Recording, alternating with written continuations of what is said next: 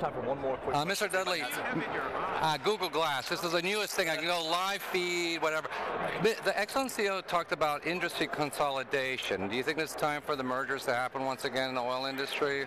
I don't think so. I mean, I think there'll be some uh, additions of portfolios and people changing portfolios a bit, but no, I don't. I don't actually say that. I see that. I mean, consolidation used to be there used to be 20 big companies. Now you think there's you know well under 10 now. So. 10 now, even with the cost base and risk diversification. Well, it depends on if the Exxon CEO was talking about consolidation of the small companies in the shales of the U.S. That's a, probably a different matter, and I think you can see some consolidation. Like Conoco, Chevron, or the smaller companies, Shell?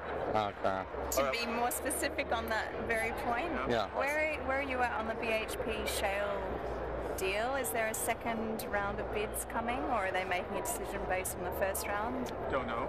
Don't know. But BH, uh, BP was in the first round Yeah, of we, the. well, well, we and I think 60 companies participated in the first round. and Yes, We yeah. haven't heard since then. Do you All right, have a we're gonna- time frame? We're gonna leave it there. No, that's the last thing. We, we got to get him on to his next event. But thanks, All everybody. right. Thanks, All Wade. right, thanks, guys. Thanks a lot.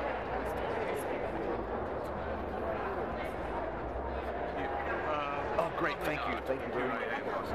I'm not carrying it. We but Brett participate in projects with on our Rosneft. Yeah. Can't comment on any of the other partners. All right. All right, we're gonna leave it there. right. No, we have no specifics. Okay. Thanks very much. Thank you. Thanks, guys. All right.